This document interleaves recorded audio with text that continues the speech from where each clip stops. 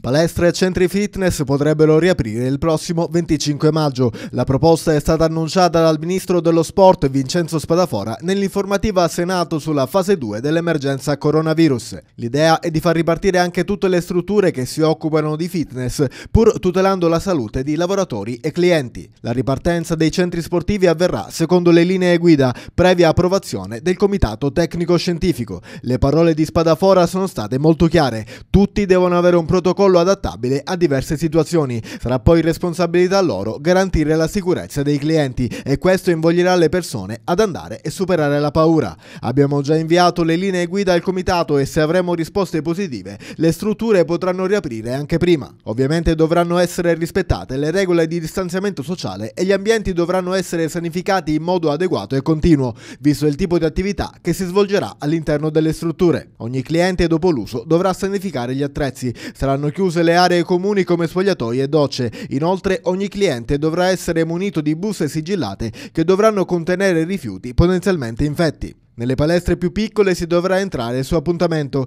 mentre per le più grandi sarà previsto un ingresso scaglionato. Si potrà inoltre essere eseguiti soltanto a distanza di due metri dall'istruttore, che indosserà guanti monouso e mascherina.